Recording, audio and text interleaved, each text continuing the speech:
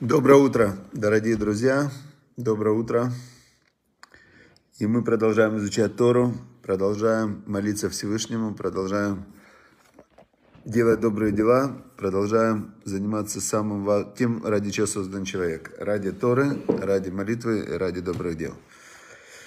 Значит, э, сегодня Рошходыш э, Адар – Рошхода Шадар это самый веселый месяц, самый сильный месяц, самый такой наполненный радостью месяц. И я уверен, что с сегодняшнего дня все пойдет только в улучшение. Все пойдет в улучшение, начиная с сегодняшнего дня. Просто это чувствую, знаю, уверен. И мы с вами, Гриша Цибульский, особенно, мы вносим огромный вклад, огромный вклад в то, что устанавливается мир. Даже мы не представляем себе, насколько важны молитвы каждого из нас, э, псалмы каждого из нас, вот этот урок Торы, он просто производит на небе переворот в сторону света, добра. И я думаю, что сегодня с Божьей помощью и нашими молитвами установится мир. И вот как раз новая такая точка отчета, новая луна, Рошхода Шадар, и пойдет сейчас прямо увеличение божественного света, а в Песах придет Машех. То есть мы видим сейчас уже прям кон- конкретное конкретное, прямо вот, вот-вот оно все. Божественный свет наполняет мир всегда как роды. Знаете, как есть роды, и во время родов э, рождается новая жизнь, но женщине больно. И так сейчас миру больно. Рождается новая реальность, позитивная, хорошая реальность. И в этой новой позитивной, хорошей, доброй реальности это как схватки, так и называется. Родовые мути перед приходом Машеха.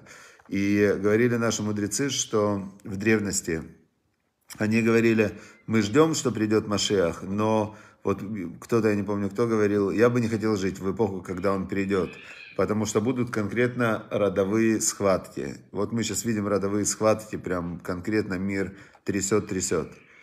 Значит, э, вот у меня даже коты на балконе воюют, воюют между собой, инстинкты, инстинкты у них прям шипят друг на друга и воюют. Хорошо. Значит, э, сегодня у нас 30 Адара. 30 Адара это 30 Адара первого Адара. В этом году два Адара. И начинается вот сегодня как раз новомесячие, да, новый месяц.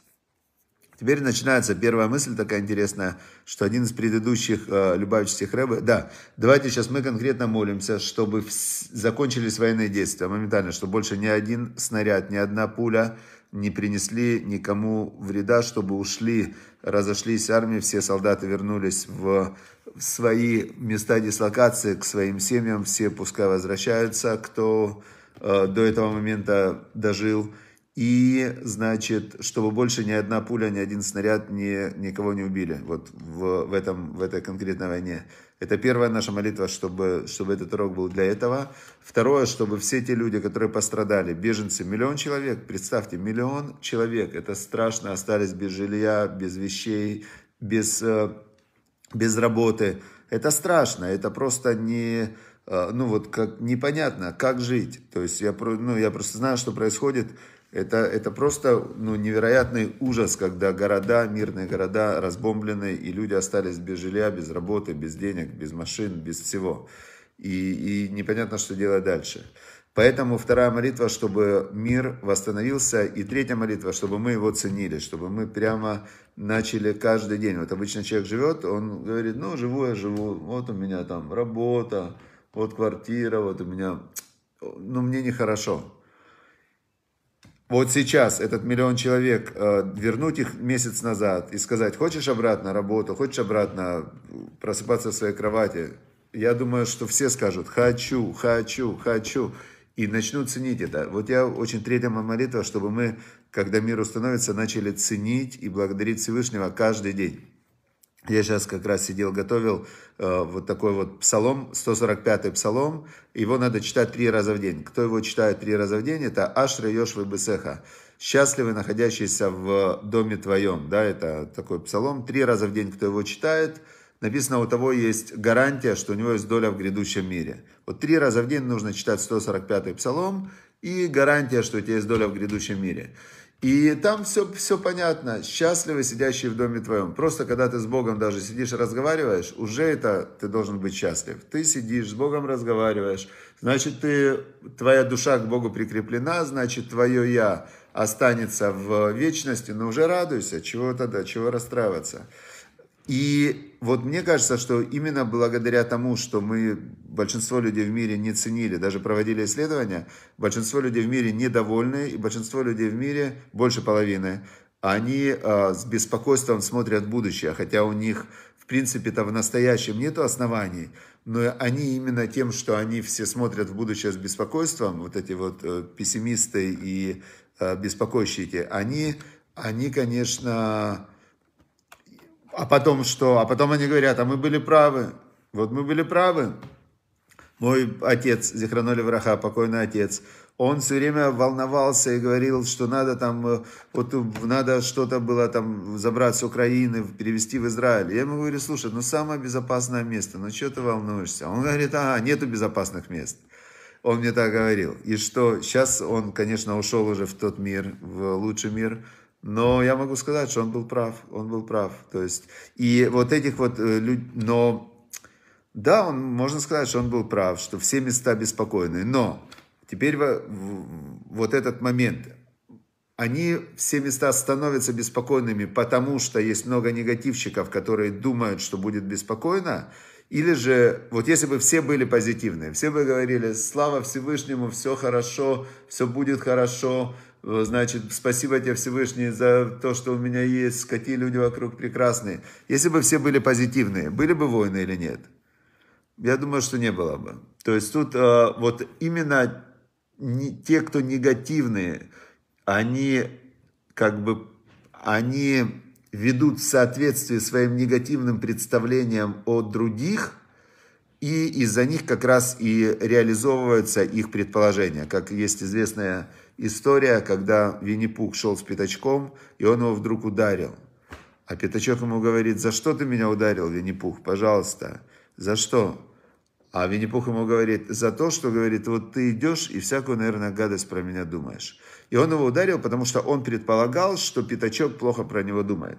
И, в принципе, все конфликты, они вот на этом базируются, да, на таком эффекте Винни-Пуха, что один думает про другого, что он думает про него плохо, в соответствии с этим начинает к нему относиться, и тот начинает к нему относиться плохо. А, это как вот так оно работает. И то же самое со Всевышним, да, та, тот же самый закон. Есть такой закон, путь, по которому человек хочет идти, его ведут с неба. То есть у человека есть свобода выбора, он выбирает, он выбирает, кто-то выбирает идти на войну, кто-то выбирает э, молиться за мир, кто-то выбирает э, ругаться на других, кто-то выбирает, наоборот, э, говорить э, о мире. Да, это выбор. Но тот выбор, который ты сделаешь, с неба тебя по нему ведут. То есть дальше э, все события разворачиваются по тому сценарию, который ты включил. Путь, по которому человек хочет идти, его ведут. Мы это знаем из Торы, из истории с Белямом. Белям был такой, э, он был пророк, и он был злодей. Бывает такое, что человек и знает, что есть Бог, и он все равно злодей, суть его такая злодейская. И Белям к нему пришли, как раз война тогда была, э, Тогда еще не было войны. Вот в том-то все и дело, не было войны. Еврейский народ вышел из Египта и шел в землю Израиля, куда Всевышний сказал ему идти. То есть Всевышний его вывел из Египта, Всевышний сказал идти в землю Израиля. Шел, никого не трогал. И вот он подходит уже Моавитяне, и тут э, царь Моавитян, которого никто не трогал вообще, никто его не трогал, Балак бен Цепор его звали. Балак, такое имя у него было. Он, значит, э, посылает к этому Беляму, к пророку, и говорит, идет еврейский народ, хочет на меня напасть. Они не хотели на него напасть. Э, прокляни их. Белям говорит, я должен спросить у Всевышнего, я, ну, я пророк, я ничего не могу сделать, то, что Всевышний не хочет. Спрашивает он у Всевышнего, вот пришли ко мне, приглашают меня проклять. Проклясть. Всевышний говорит, не можешь ты проклясть того, кого я благословил. Не можешь. Все, не, нельзя тебе с ними идти. Белям им говорит, «Э, вы знаете, говорит, мне Бог сказал, что я с вами не могу идти. То есть он не сказал, что нельзя проклинать, он сказал, что именно с вами нельзя идти. Этот Балак, настойчивый такой параноик, который думал, что на него хотят напасть, он шлет других посланцев на переговоры с Белямом и говорит ему, уже пришли более важные такие, все, говорит, приходи, прокляни еврейский народ, потому что, вот тут тоже, отсюда мы видим историю, он говорит, сила их в молитве, то есть сила их э, в том, что в их связи со Всевышним. И это самая главная сила на земле. Тут надо вот очень понимать, что поэтому наши молитвы, псалмы и так далее, они дают огромный эффект. Это знают все люди, любой там боец, он знает. Если не прет, то никакие тебе не помогут ухищрения. А если Всевышний дает благословение, если есть везение, да, то, что называется простым языком везение, то даже, даже какой-то ну, вот дурак может победить самого-самого там опытного бойца, потому что все, везет ему, прет. Теперь, значит, э, приходят вторые, вторые посланцы, приходят к Беляму, к этому, да, колдуну, и э, он был в статусе пророка, у него была близкая связь со Всевышним, но он был злодей.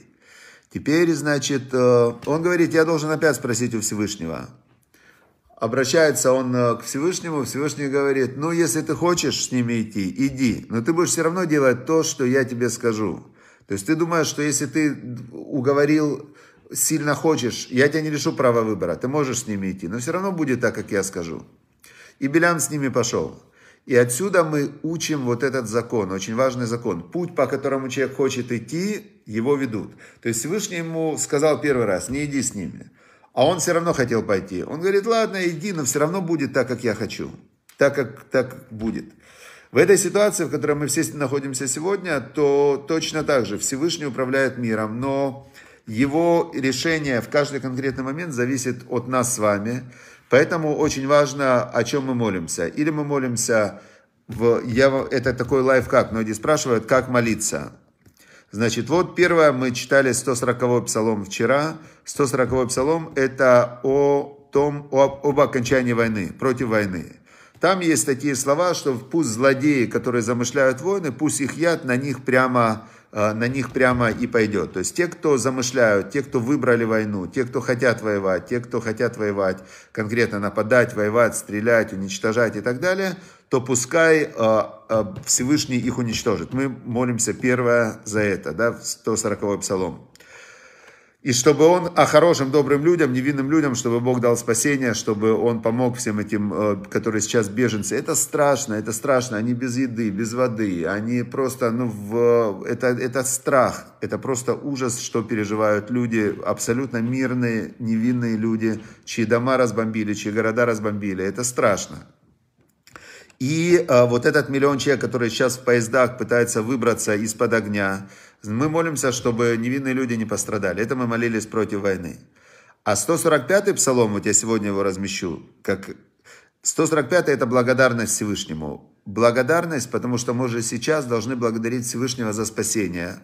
Мы сейчас уже должны благодарить Всевышнего за то, что когда мы вернемся к мирной жизни, что как мы будем уже это ценить, насколько мы будем по-другому относиться к тому, что Он нам дает, насколько мы будем благодарны и любить друг друга, уважать друг друга, насколько мы будем с радостью прощать друг другу мелкие какие-то э, мелочи, да, которые, из-за которых люди раньше ругались в быту с близкими, с родственниками, да, из-за какой-то э, там э, пятна, человек мог поругаться, да, или там ребенка наказать за какое-то пятно.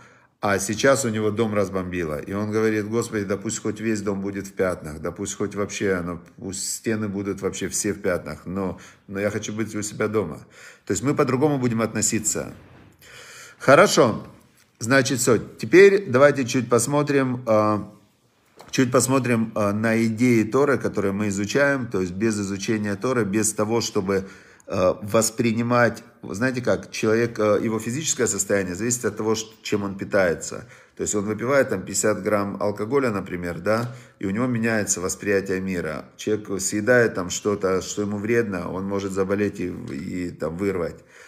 А если то же самое с информацией. Поэтому, когда мы изучаем Тору и получаем вот эти вот там слова псалмов, э, слова истории, святые вот эти вот слова, слова пророков, то мы наполняем свой интеллект, свое мышление вот этой вот интеллектуальной, чистой духовной пищей, которая, соединяясь с нашим мышлением, она потом э, абсорбируется и становится человеком. То есть она прям заходит в, в клетки, в клетки тела на физическом уровне. И вот мы сейчас изучаем, есть книга «Обретение неба на земле», где очень собраны идеи, которые в основном э, собраны, это идеи Любаческого Рэба, последнего. И вот здесь такая идея сегодня нам дается. В первый вечер Ханути, опять мы, видите, сразу мы вспоминаем о Хануте, когда маленькая-маленькая группа верующих э, евреев, э, которые были, э, действительно не были верующие и верили в единого Бога, в э, Бога Творца земля, мироздания – они победили огромную греческую армию и освободили храм. То есть мы видим, что да, такое случается, это не первый, не в последний раз. И вот, значит, э, и мы празднуем это уже две, почти две с половиной тысячи лет, мы празднуем Хануку. И Ханука как празднуется? В первый день Хануки зажигается одна свеча, во второй день две свечи, в третий три, четыре, пять, шесть, представляете, шесть свечей, семь свечей, восемь свечей на восьмой день, огромный свет. У меня, кстати, интересно, у меня э, на моем экране телефона именно 8 свечей Хануки. Я очень, это для меня такой важный праздник, который показывает, что действительно не важно, сколько у тебя сил, важно, насколько ты близок ко Всевышнему, какие у тебя намерения. И если даже у тебя чуть-чуть сил, но у тебя правильные намерения, то Всевышний даст тебе и победу, и жизнь, и все тебе даст. Значит, э, какие идеи в этой книге приведены? Первая идея, что мы учим из этих восьми э, свечей, что каждый день добавляется по одной свече. Первая идея – всегда растите, всегда находитесь в движении. Совершив сегодня одно доброе дело, завтра совершите два. То есть э, больше, больше добра, больше света. Вторая идея – идите по жизни поступательно, постепенно темпом, который вам под силу. Не ждите, что завтра станете праведником, но не считайте, что сегодняшний шаг уже привел вас к точке назначения. То есть по чуть-чуть, по чуть-чуть, по чуть-чуть. И, а, значит, мы двигаемся, двигаемся, двигаемся к повышению своей святости. Все. Теперь а, дальше. Дальше в сегодняшнем отрывке из Торы из Пятикнижия рассказывается, опять же, Бог говорил Моше так, он ему полностью все рассказал пошагово, как, как ему делать, собирать мешкан. Передвижной храм, стиния, да, переводят на русский. И, значит, э, он ему прямо объясняет еще раз и еще раз, как, что делать в деталях, деталях, деталях. Он ему объясняет, э, в первый в день первого месяца, новомесячня, в первый день месяца возведи стинию шатра собрания. Это будет ровно через месяц, в Рошходыш Нисан. Ровно через месяц, это первый месяц, и в этот первый месяц как раз был возведен храм. Вот у нас сейчас. Сегодня начался самый лучший, самый радостный месяц, в котором наиболее проявлена э, поддержка Всевышним всех хороших, добрых дел. Месяц Адар. В этот месяц добро всегда побеждает зло. То есть это однозначно, это месяц, в который Аман, злодей Аман, назначил уничтожение еврейского народа, потому что 7 Адара Машер Абейну умер. 7 Адара, кстати, мы будем через неделю праздновать э, Йорцайт, годовщину смерти Моисея Машера Бейну. Но Аман, злодей, не знал, что в этот день он и родился. Мажарабейну и родился 7 Адара. Он жил 120 лет, он, в тот же день, в который он родился, он умер. И Аман думал, что этот месяц плохой для еврейского народа, потому что Машарабейну в него умер. А оказывается нет, это оказался самый лучший, все перевернулось. Это месяц, когда э, все плохое, все плохие события, которые вообще есть, они переворачиваются в хорошие. Опять же, у людей, которые близки ко Всевышнему, добрые, хорошие, которые не нарушают волю Всевышнего. Злодей не может надеяться, что у него в этот месяц ему повезет. Наоборот, в этом месяце все злодеи, у которых, которые нарушают, мы определили, что добро и зло определяет только Бог, только Всевышний. И в Всевышний в заповедях, в десяти заповедях, в 613 заповедях, в Торе, он определил, и это однозначно, неважно, к какой даже религии человек относится. Все признают, 10 заповедей признают все верующие в Бога люди, мусульмане, христиане, евреи, которые получили эти заповеди в, на горе Синай. То есть однозначно убийцы, насильники, воры, грабители, э, люди, которые лжесвидетели и так далее, все они, все они относятся к злодеям. И в этот месяц Всевышний даст всем добрым, хорошим людям, которые на стороне добра и борются со злом, даст победу. Поэтому вот сегодня как раз все перевернется. Я вам говорю, вот ждите сегодняшнего дня, ждите чудес. Прям сегодня, завтра, такие начинаются чудеса, что просто, если вы знаете чудеса, я как раз хочу сейчас сделать пост после урока в Инстаграме, в своем личном, да, что кто видел, наблюдал за в последние дни, э, вот в, в эту неделю последнюю войны, наблюдал чудеса Всевышнего, напишите мне, пожалуйста. Я очень хочу э, сделать прославление Всевышнего и показать всем об этих чудесах. Как сегодня я увидел просто один, один пост, что одна женщина пишет, что высаживался десант в, со стороны Беларуси, и начался сильный ветер, и всех парашютистов э, в сторону Беларуси обратно унесло. И они не вступили в бой, то есть живые у, улетели обратно туда, потому что ветер. Это чудо Всевышнего, это конкретное чудо Всевышнего. Я хочу собрать вот эти вот чудеса, свидетельства, что Всевышний слышит молитву, Всевышний помогает. И вот с этого дня, сегодняшнего дня, начнется сейчас, просто вот вы увидите э, чудеса на чудесах в сторону добра. Теперь, да, Сталин помер 5 березня, точно Юрий Сахно заметил, и это было, Сталин помер в Пурим. Как раз в, вот в этот месяц Адар Сталин помер 5 березня, это был Пурим. И э, мой учитель Равыцкак Зильбер, Захранот Садих Левраха, он молился три дня без остановки, чтобы Сталин умер. То есть это прям конкретное есть свидетельство, что когда э, у Сталина был вначале то ли инсульт, что-то у него было, еще он было шанс, что он выживет, он три дня молился, чтобы он умер и не выжил.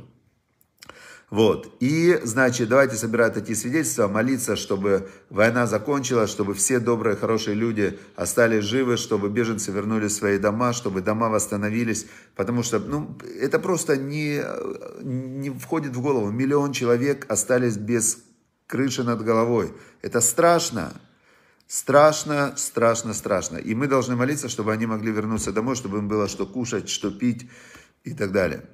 В Одессе, да, шторм, три дня не могли десант высадить. Хорошо, теперь давайте псалом, прочитаем псалом, 145-й псалом, хвала Давида. Таилали Давид, это как прославление Давида. Царь Давид, он прославлял все время Всевышнего. Значит, Аромимха Элуай Амелах, он говорит, буду тебя превозносить, поднимать тебя буду э, всесильный Бог Царь. Вавархашим хали уламваэт. И буду прославлять, и буду благословлять имя Твое навечно. Бехольем авархеха. Каждый день буду благословлять Тебя. Ваалеля шимхали уламваэт. И буду прославлять Твое имя Леулам Ваэт, вечно, навсегда, потому что когда ты с Богом, ты вечный. Гадоль Адоной Мулаль Меот, велик Бог и Меулаль и прославляем очень. Великдулато эн хекер. И величию его, величию его нету, хекер, нельзя даже исследовать его величие, настолько он велик. Дор лидор и шабах масейха. Из поколения в поколение будут прославлять твои дела, угварасейха ядиду, и рассказывать о твоем могуществе. Адар квот одыха, великолепие великолепие, Адарквот, великолепие почета, славы Твоей э, я буду, я буду признавать. ОДХ, это я буду благодарить Тебя. Вадиврени флосейха асиха. И слова чудес Твоих, э, слова о чудесах Твоих я буду рассказывать. Вот я поэтому сейчас хочу собрать чудеса. Я буду рассказывать. Э, в Иисус Наросейха Йомеру, значит, о могуществе грозных дел Твоих будут все говорить. Угдул Угдуласеха асапрена, и о величии твоем буду я рассказывать. Зехар рафту виха ябию, значит, э, память великой благости твоей буду произносить. Зехар рафту виха ябию, вытиткаско и ранену. И, э, значит, титкаско это справедливость твою буду воспевать. Песни буду петь, да, вот. Зехар рафту виха ябию, вытиткаско и ранену. Буду, буду воспевать Воспевать буду песни твои. Так, э, значит, Ханун Варахум Адойной, э, милосерден э, Бог, Эрахапаем, он долго терпелив, Угдаль Хесет, и велико, велико его милосердие. Това дано коль, добр Бог для всех, варахама вальколь маасав, его милосердие на все его создания, на все его дела. Юдуха дано коль маасеха, Десятое. Благодарить буду Тебя, Бог, все творения Твои, благословлять Тебя будут благочестивые Твои. Славу Царства Твоего буду изрекать, говорить о могуществе Твоем, чтобы сынам человеческих, человеческим о могущественных делах Его, о славном великолепии Царства Его. Царство Твое, Царство всех веков, владычество Твое во всех поколениях. Поддерживает Бог всех падающих и выпрямляет всех согбенных. Все глаза к Тебе устремлены, Ты даешь им пищу своевременно. Ты даешь всем пищу их своевременно. Открываешь ты руку твою, насыщаешь все живое по его желанию. Праведен Бог во всех путях своих, благочестив во всех деяниях своих. Близок Бог ко всем призывающим Его, ко всем, кто призывает Его в истине. Желание благоговеющих перед Ним исполняет, вопль их слышит Бог и спасает их. Хранит Бог всех любящих Его, а всех злодеев истребит. 20 отрывок. Хранит Бог всех любящих Его, а всех злодеев истребит. Хвалу Богу изрекают уста мои, всякая плоть благословит имя святости Его во веки веков. Все, вот этот вот псалом сегодня читаем, 140 псалом читаем, 145 псалом читаем, э, чудеса Бога воспеваем и молимся, чтобы остались живы и хорошо себя чувствовали все хорошие, добрые люди, а всех злодеев Бог истребит. Все, хорошего дня, до завтра. Ждем хороших новостей. Обязательно, обязательно, обязательно.